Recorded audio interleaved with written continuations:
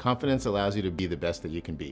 It allows you to take on the world, achieve success, do better in school, get a better job, generally have life success. I feel like I don't have to like worry about like, oh, um, do my teeth look okay? Especially because I do dance competitions and stuff, and I'm looking forward to my treatment. Before I got my braces, my uh, my expectations were pretty high for the uh, for the treatment. I was expecting the best from them, and that's what they provided. They surpassed my expectations. I feel like now after my braces, I am more confident and everything's just been great so far.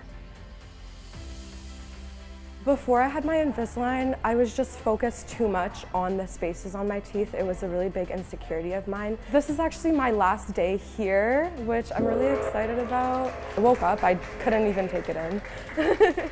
I'm looking forward to having a nice smile and just being more confident, not having to worry about what my teeth look like or taking a photo and not liking it just because of my smile.